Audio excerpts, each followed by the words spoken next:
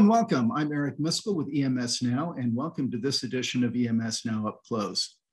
Today, it's my pleasure to speak with Paul Salerno. He's the Global Portfolio Manager for SMT Assembly Solutions with MacDermid Alpha. This is my first time interviewing Paul or anyone from MacDermid Alpha. So, Paul, welcome. Um, no pressure there, by the way. Uh, but maybe if you could give a quick introduction to yourself and MacDermid Alpha for our audience. Sure, sure, yeah. So th- thanks for having us. Uh, first off, Eric, we appreciate that. And um, yeah, so so MacDermid Alpha uh, is a pretty uh, pretty well known um, organization in the the industry. Um, I am part of what we would consider the Assembly Solutions Group. So your traditional Alpha Assembly Solutions business. Um, we we were um, we joined together with the MacDermid team in um, 2000, I want to say 2015, um, and became MacDermid Alpha. And one of the, the the most, I would say, the distinct advantage that we have is is our vertical integration throughout the um, electronics assembly world, meaning we have divisions that specialize in in uh, our circuitry group, which specializes in surface finishes uh, and PCB design. Um, then we have our semiconductor group, who specializes in, in uh, chemistries and, and solutions for the semiconductor space, uh, as well as, as our assembly group, which is uh, primarily um, assembly solutions for uh, surface mount technology, such as solder pastes and cored wires and, and uh, wave solder so- solutions in non SMT type uh, applications as well. Um, and so, you know, the advantage of being being vertically integrated was we we always have kind of uh, an expert that we can speak to within uh, within our uh, business units to uh, to help solve solve problems for customers. So it's it's pretty exciting time to be part of MacDermid Alpha. Excellent. Well, thank you for that. That's a good overview. Yeah. So we're here today to talk about your next generation low temperature solder paste, the OM565 HRL3. Um, so let's get into that. Kind of low temperature solder seem to be gaining more interest in the electronics industry. Is there any particular reason for the increased adoption of these types of solder? Yeah, yeah, absolutely. So the, the primary driver for low temperature solders is, is really to essentially reduce the peak reflow temperature below uh, your traditional um, SAC reflow temperatures of say 245 to 250 Celsius, um, and and to to reduce um, some of the defects that are incurred from the higher peak reflow temperatures, such as head and pillow or non-wet open defects, where um, that are in part due to basically components warping during the reflow process. And, and so I, I would say for, for, those who are not aware, so head and pillow defects are, are common in, in array packages and they're caused by typically by a lack of coalescence of the solder bump to the to the PCB land or vice versa. The non-wet open defect is is um, caused from a lack of wetting uh, to the PCB land and a fully coalesced uh, uh, solder deposition. So in, in both cases, sometimes you can mitigate that in the SAC reflow space through chemistry design. Um, but as the electronics industry is particularly in the handheld space is moving towards larger, thinner form factor packages with higher die to package ratio, um, there's becoming more and more of a challenge related to the components warping during higher peak reflow temperatures.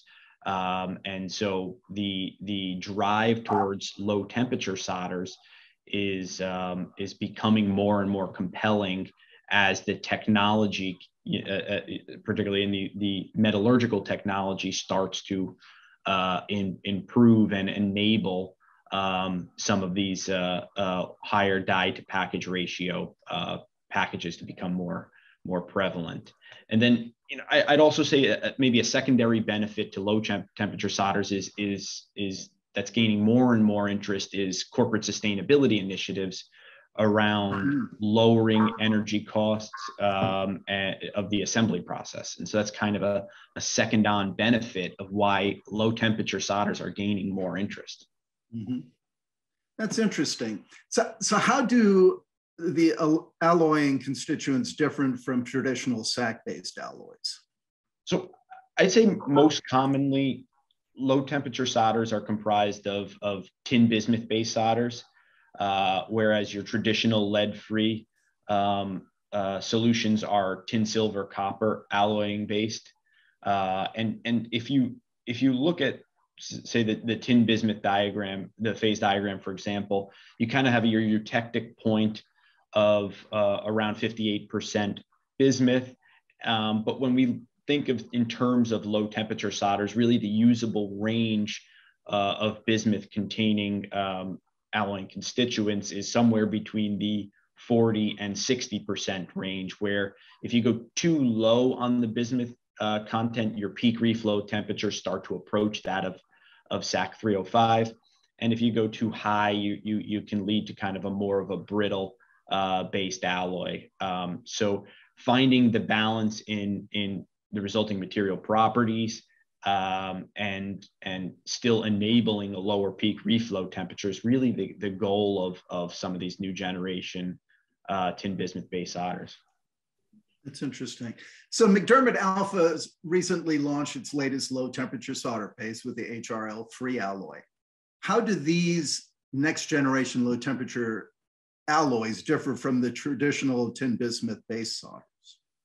Yeah, that, that's a, a great question. Um, the the HRL uh, three alloy is a tin bismuth based solder alloy, but the difference is we we have micro alloying additions that are added to the alloy to kind of enhance the ductility of the alloy and improve its mechanical properties over your traditional low temperature solutions.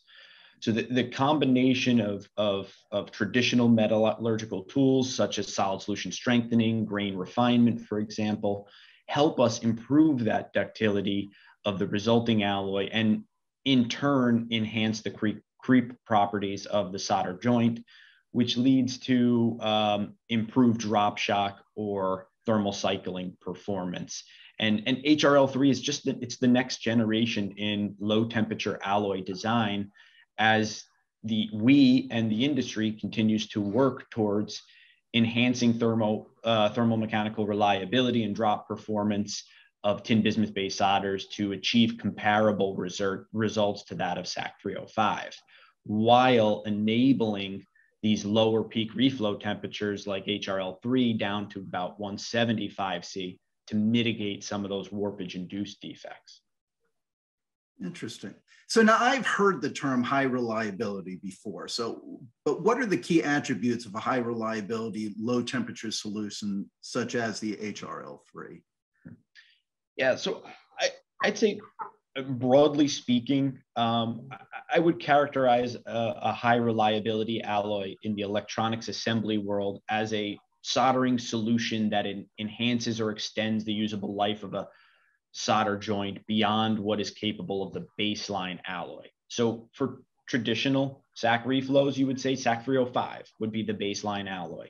For um, low temperature solders, you would say uh, the, the baseline alloy may may still be uh, SAC 305, where you're targeting to approach the reliability performance. But when you your your real baseline is against tin bismuth base solders. So how are you improving the reliability of traditional tin bismuth base solders? Um, and it, as a general statement, so you know when you think about what a solder joint uh, exhibits during the uh, thermal excursion process, if you will, you've got a uh, high expansion PCB and a low expansion component, and the solder is really stuck in between that, um, in between those two two uh, uh, elements of the um, assembly process. And so, um, with the solder, solder stuck in between the PCB and the component, if it faces an, an inherent strain that's generated from the coefficient of thermal expansion mismatch between the two um, uh, the, the, the um, PCB and the component. So a good high reliability alloy, such as HRL3, is more resistant to that cyclical fatigue when compared to traditional low temperature solutions. And, uh, and you know, the same could be said for in the SAC space when you look at high reliability solder alloys, such as the Innolot alloy, which further extends and just basically explains that the, the alloy is more comfortable working in a higher strain environment. Okay, that makes sense. So do alloy needs differ based on the end application's target market? Yeah, absolutely. Yeah. So, um, eh, you know, many many people assume that high reliability just translates to exposure to a high temperature environment, and that's really not the case for uh, um, the the low temperature space. It's absolutely true for your traditional high rel markets, such as automotive, where the Innolot alloy has seen success uh, because of its ability to, to withstand continual operating temperatures above 120 C. In the low temperature space, such as the HRL3 alloy, you can classify it as a high reliability alloy um, in, in, the, in, in, in uh, markets such as the computing and handheld space, where operating temperatures consistently run below 100 C. So high reliability, low temperature alloys essentially enable and enhance the reliability of your traditional alloy against that baseline. Um, and and in, in the case of HRL3, it's all about mitigating those warpage induced defects, lowering the peak reflow temperature, and enhancing the mechanical and drop performance of the uh, of the alloy compared to your traditional um, low temperature solutions. Okay. So that now that's interesting on the HRL3 alloy, but how about the paste chemistry? What can you tell us about the, the OM565 chemistry? Yeah, Erica. So yeah, we're, we're, we're, we're really excited about the uh, potential for this chemistry. So designing chemistries to target uh, specific reflow temperatures of a new alloy is really challenging. Um, first, uh, you need to obviously consider the end, end user's application.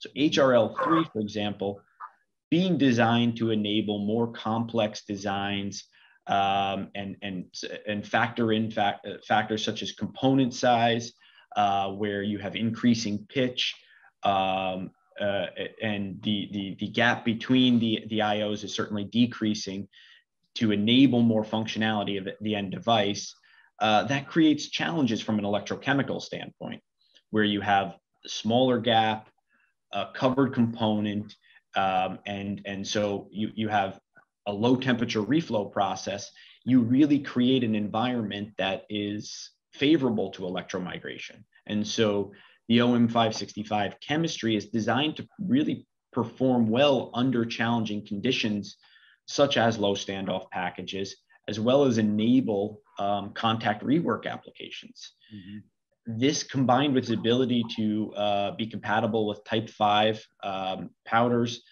uh, type 4 and type 5 powders really enables the finer feature printing, which is what the need of the next generation user is in, in the computing and electronic space. Hmm. Now, you touched on electrochemical reliability and, and ability to accommodate contact rework applications. What can you tell us about some of the challenges in achieving high electrochemical reliability for a low temperature solder? Yeah. So I'd say one of the, the biggest challenges with low temperature solder is in fact the the lower peak reflow temperature, right? So the the the one size fits all kind of chemistry design typical of SAC um, reflow alloys is really not possible when you're getting into uh, low temperature alloys uh, where you're targeting a specific peak reflow temperature. So you need to develop a custom chemistry platform to uh, account for that resulting reflow temperature and that this this really addresses the challenge of of of leaving some of the post reflow volatiles, if you will, uh, from an LTS reflow or low temperature reflow on the board and creating electrochemical challenges. So if you design the chemistry specific to the resulting reflow profile that you're going to use, you can then um, uh, uh, account for the, the proper exhaustion of the volatiles to enable higher electrochemical performance. Okay. Now I know that the the OM565 is available in T4 and T5 powder types, right? So what do you mean by that? And what design elements should determine the appropriate solder paste powder type that one uses? Yeah, so so uh, so great question. Um, so type four solder uh, powders typically have um, nominal sizes between 20 and 38 microns for the powder. A type five would be somewhere between 15 and 25 micron uh, uh, diameter powder sizes. The advantage, obviously, of a finer um, powder type, so smaller powder type, is that you can fill the apertures during the printing process and, and achieve higher target volumes, particularly on very small feature sizes. The disadvantage of moving to a finer powder type is that you have an increased surface area and thus you challenge the chemistry to work harder to effectively clean the surfaces and prepare it for soldering. So designing that chemistry for uh, different alloy, uh, different powder types is critical to um, to being able to uh, achieve kind of the the next generation needs of, of of achieving higher volume on finer feature sizes. Interesting. This has been very interesting discussion i got to say. So but but one final question before i let you go here looking out where do you foresee low temperature solders going from here? What what's coming? Yeah uh, so I, I think low temperature solders have the potential to be a, a significant technology enabler for next generation component design next generation uh, um, uh, end device end device device designs.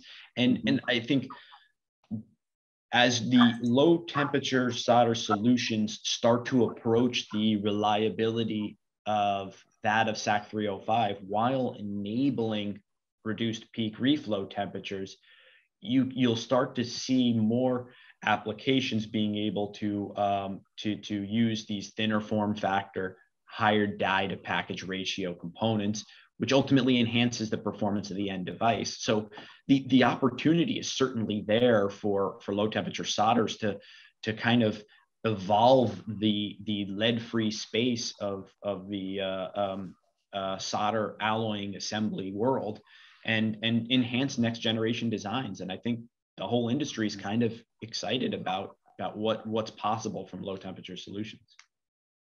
No, indeed they are. And uh, our time is up here, but I want to thank you. This has been very informative. And, and for the people watching, I want to say, you know, you know, Paul clearly has demonstrated his knowledge in this area and done a great job. And so if anybody's interested that's listening to this um, and wants to reach out, please reach out to Paul directly. Usually I point people to LinkedIn and I know that you're active on there, yeah. um, but also through MacDermid Alpha and, and, your local representatives, you can get to them, no doubt.